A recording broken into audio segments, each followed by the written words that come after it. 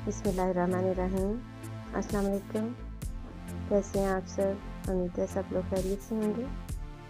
आज मैंने ये ग्रिल फ़िश बनाई है जो कि बिल्कुल बाज़ार जैसी मज़े की और टेस्टी तैयार हुई है। देखें देखने में भी बिल्कुल बहुत मज़े की लग रही है और खाने में भी ये बहुत मज़े की है। घर में बनाना भी इतना ही आसान है जितना कि बाकी चीज़ें हम बना लेते हैं। तो इसके लिए जिन चीज़ों की ज़रूरत होगी, आइए मैं आपको बताती हूँ और ये बनाना शुरू करती हूँ।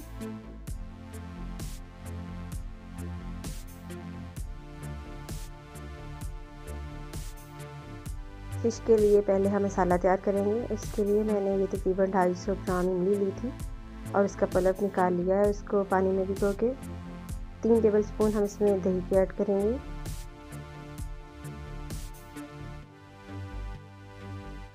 टू टेबल स्पून भर के हम अदरक लहसुन का पेस्ट ऐड करेंगे। इसको बारीक चॉप किया है, वो ऐड किया है। ये देखें। वन टेबल स्पून अजवाइन का ऐड करेंगे। वन टेबल स्पून नमक नमक कम ऐड करेंगे क्योंकि फ़िश को पहले ही लगा होता है। हाफ़ टेबल स्पून हल्दी।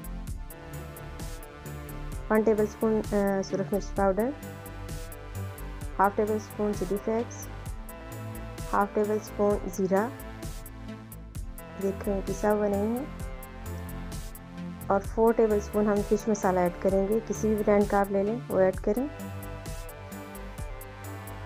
और थ्री से फोर टेबल स्पून हम इसमें लेमन जूस ऐड करेंगे। हाफ़ टेबल स्पून साबुत हमने धनिया ऐड किया है खुश्क धनिया। इस सारे मसाले को हम अच्छे से मिक्स कर लेंगे। ये सारा मसाला ही बहुत स्पाइसी और मज़े का है। देखिए इसका कलर भी कितना प्यारा है। चार से पाँच किलो फ़िश ली है, इसको ये देखिए इस तरह से कट लगवा लिए हैं, ताकि मसाला जो है वो अंदर तक चला जाए और बहुत स्पाइसी फ़िश तैयार हो। अब हम एक एक पीस को उठाते जाएँगे और इसको मसाला लगा देंगे हाथ के साथ। फ़िश को पहले से धो के हमने अच्छी तरह से इसको खुश कर लिया है ताकि इसमें पानी वगैरह ना हो।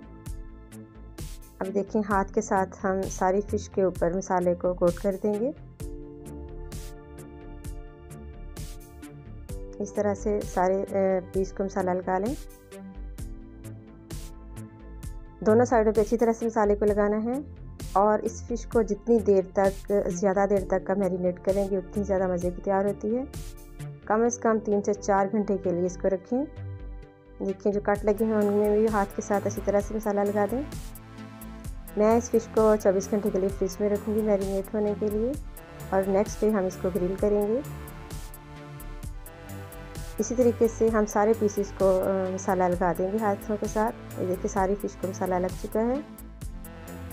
और कोई भी जो फ़िश का हिस्सा था वो खाली नहीं बचा मसाले से।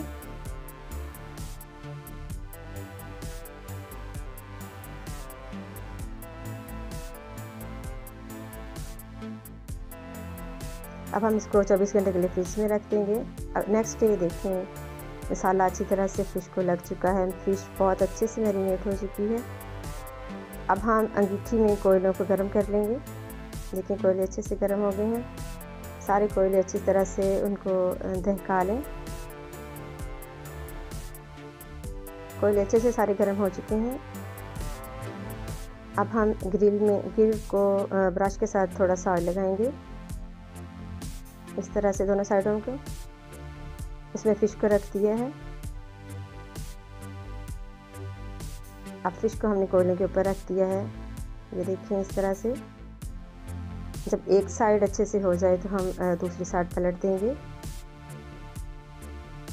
इसकी साइड जो है फ़िश की वो पलटते रहें और किसी पंखे के साथ या किसी चीज़ के साथ हवा भी देते रहें। ये देखिए दूसरी साइड कर दिए ये फ़िश बहुत ही मज़े की तैयार होती है और बाज़ार में तो बहुत महँगी मिलती है लेकिन अगर घर पे तैयार करेंगे तो ये बहुत आ, सस्ती और मज़े की बनती है। ये देखिए दोनों साइडों से अच्छे से हो रही है। हवा भी देते रहें कोयलों को ताकि वो बुझे ना। इस तरह से हमने फ़िश की दोनों साइडों को अच्छी तरह से पका लिया है।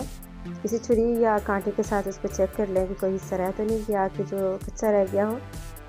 फ़िश हमारी तकरीबन सारी रेडी है। देखिए, हमने चेक कर लिया है। फ़िश बिल्कुल रेडी है। अब हम इसको ब्रश के साथ हल्का सा ऊपर से ऑयल लगा देंगे। और ये खाने के लिए अब बिल्कुल तैयार है।